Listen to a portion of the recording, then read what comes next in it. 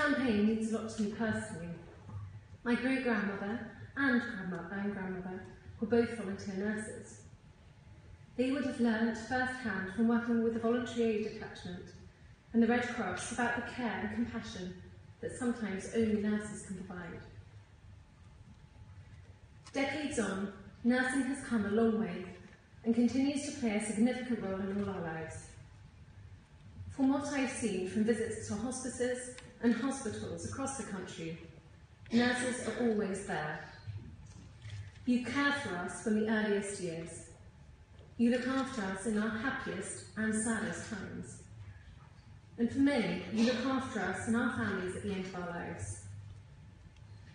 Your dedication and professionalism are all inspiring.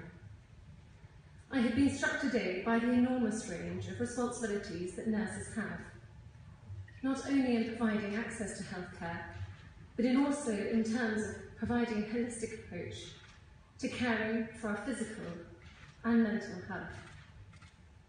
You also promote good health and disease prevention.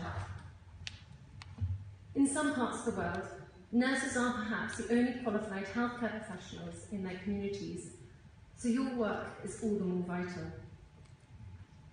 Sadly, however, many people still don't have access to regular healthcare, and it's in this context that a global campaign to raise the profile and status of nursing worldwide is so important. I was surprised to learn that to keep pace with the rising global demand, the world will need an additional 9 million nurses by 2030 in simple terms, that's about 2,000 more nurses every day for the next 12 years.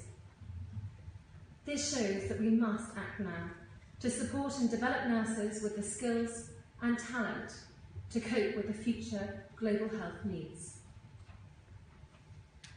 Nursing Now is a call to raise the profile of nursing internationally and to help grow the profession further so it can play a key role in meeting real health challenges